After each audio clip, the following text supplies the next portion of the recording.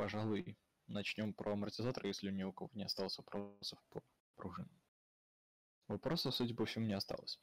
Итак, амортизаторы. Тут придется сильно подумать, включить воображение и желательно представить себе работу подвески. Для этого я даже временно переключусь на YouTube. То есть вот она наша подвеска, да? Еще больше визуализации.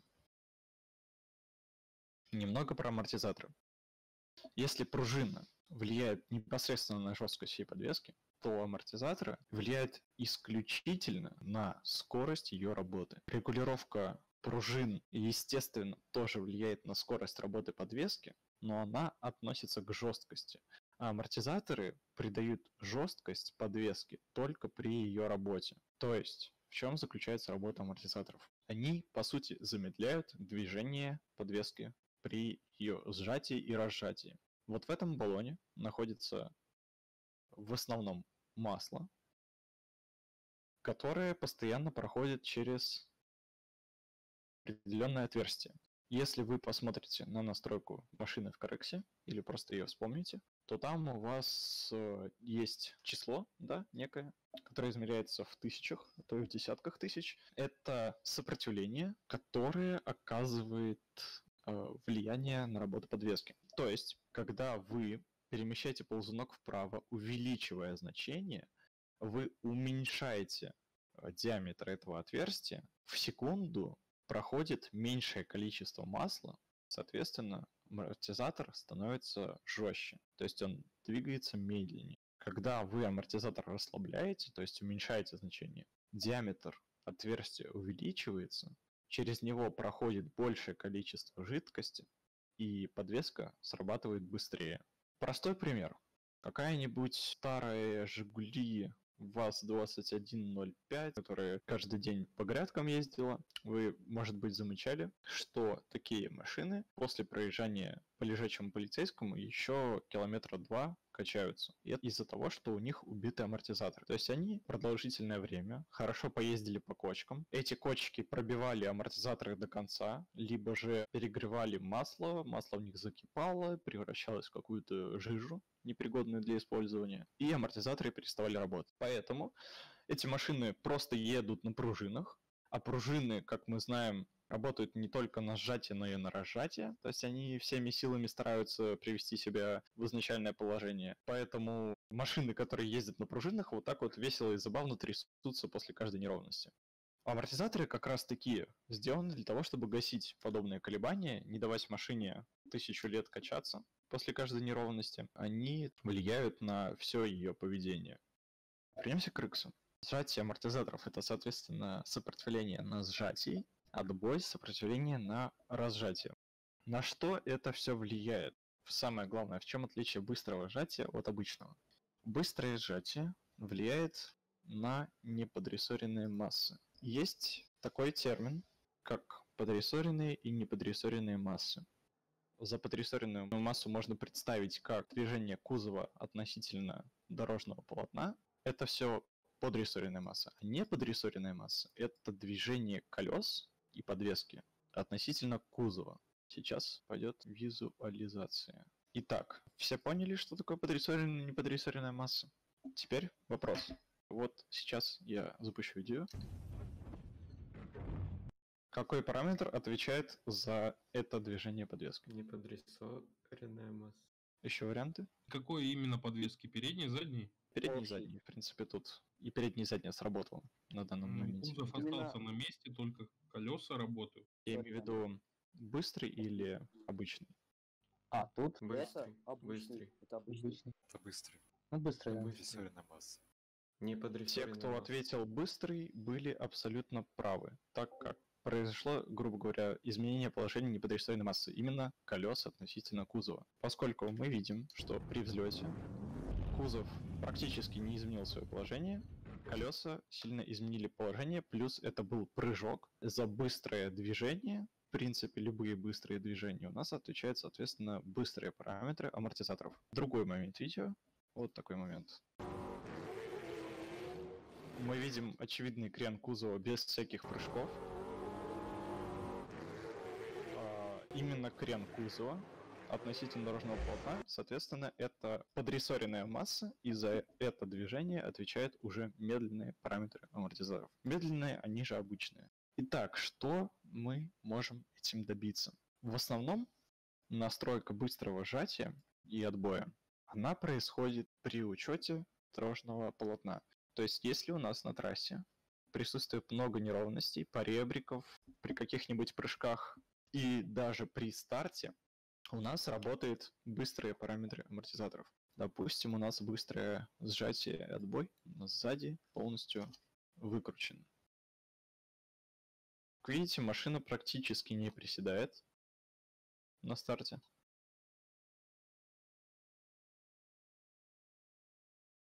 Это не гарантирует оптимального зацепа. Желательно, чтобы она приседала чуть сильнее, но это не столь важно, сколько общее поведение ее на трассе. Мы выкручиваем, вернее, откручиваем эти показатели, и вуаля, что мы видим, машина чуть больше приседает. Естественно, она не будет кардинально поведение ее меняться не будет, так как все-таки за движение кузова отвечает обычные э, параметры сжатия отбоя, но все равно немного больше она приседает. Плюс, как видите, появилась вот эта самая раскачка. Насчет раскачки сразу скажу, если вы будете изменять параметры по отдельности и говорить, что я что-то неправильно сказал.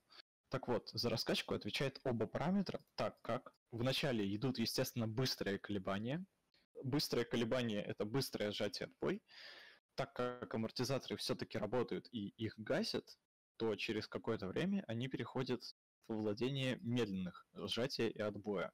На старте в основном нужно настраивать именно быстрые параметры, так как после старта у вас появляется резкое увеличение зацепа и подвеска загружается максимально быстро. Но далее начинают работать уже медленные параметры. Итак, медленные параметры для прыжков, неровностей, кочек, подъемов разнообразных настраиваются под трассу, под каждую, желательно, поскольку на самом деле они много на что влияют.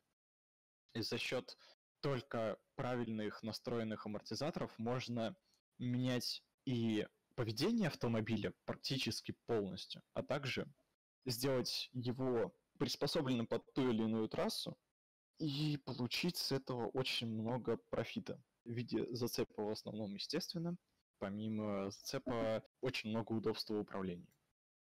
В чем заключается суть настройки? Когда вы наезжаете на поребрик, если у вас зажат амортизатор, что в среднем лучше, то он, естественно, на поребрике у вас не сработает. Однако, если у вас слишком сильно он разжат, то он на сжатии будет слишком сильно пробиваться, и машина будет ощущаться чуть более валкой. То есть для стабилизации автомобиля нужно зажимать амортизаторы, но слишком сильно зажатые амортизаторы ведут к потере зацепа на неровностях. Если у тебя будет стоять большое сжатие с маленьким отбоем, это никуда не годится, поскольку теряет всякий смысл. То есть, считай, у тебя колесо будет медленно сжиматься, но при этом быстро возвращаться в исходное положение. Для прохождения неровности это даже по логике неверно. То есть у тебя будет жесткая подвеска на срабатывании, и потом она будет по приколу быстро возвращаться, и эта машина будет ощущаться такой расхлябанной. Если же ты сделаешь ее слишком мягкой, она потеряет стабильности, потеряет в зацепе, так как увеличатся крены и потеряется информативность управления, то есть она будет управляться с небольшой задержкой.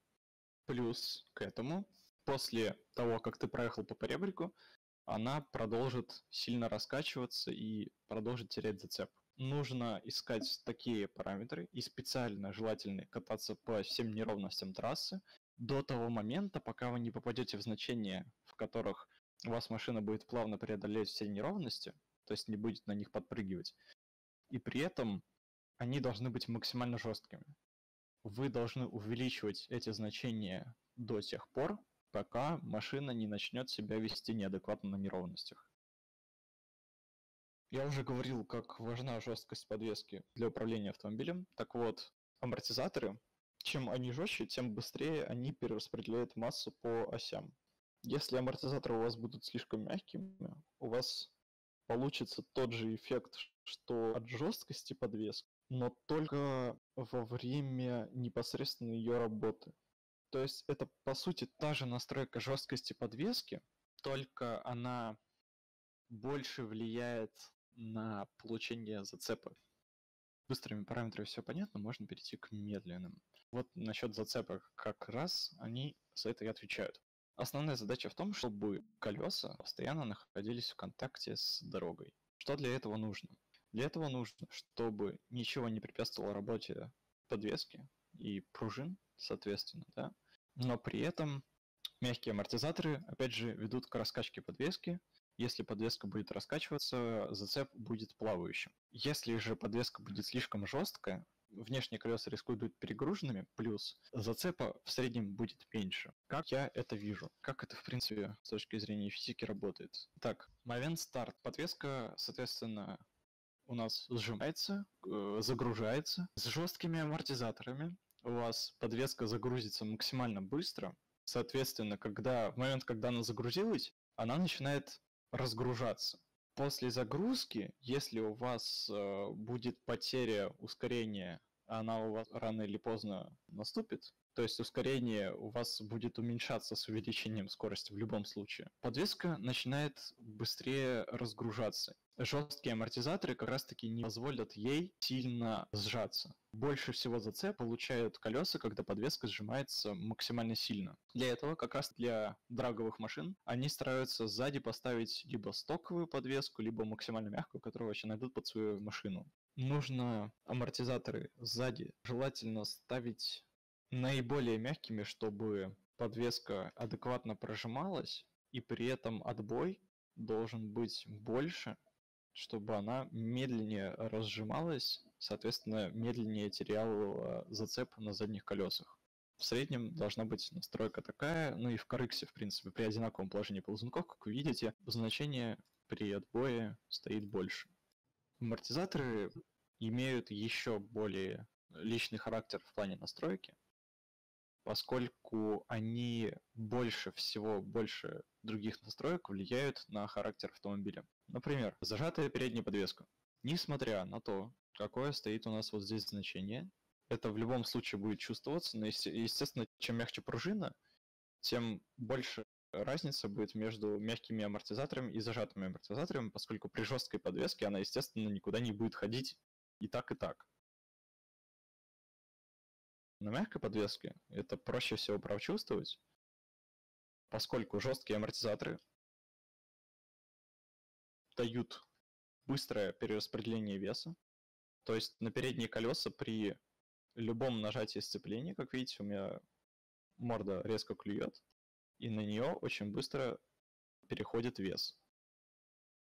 Этот переход веса вы можете определить по получению зацепа на передних колесах. То есть, когда я нажимаю сцепу, у меня приседает морда, на ней резко появляется очень много зацепа, и получается резкая перекладка. То есть она как бы у меня такая пружинистая сейчас получилась, да? Если же мы поставим мягкие амортизаторы спереди, характер автомобиля поменяется кардинально у нас передняя подвеска теперь будет срабатывать гораздо быстрее. Она гораздо сильнее прожимается. И как видите, за счет этого прожатия зацепа становится еще больше, но он появляется не так резко и довольно быстро пропадает. И перекладка из-за этого получается более размазанной и мягкой. И точность перекладки, как видите, потерялась. То есть, если я раньше перекладывался в определенный угол и в нем ехал, то сейчас у меня машина продолжает немножко спиниться, больше, чем нужно.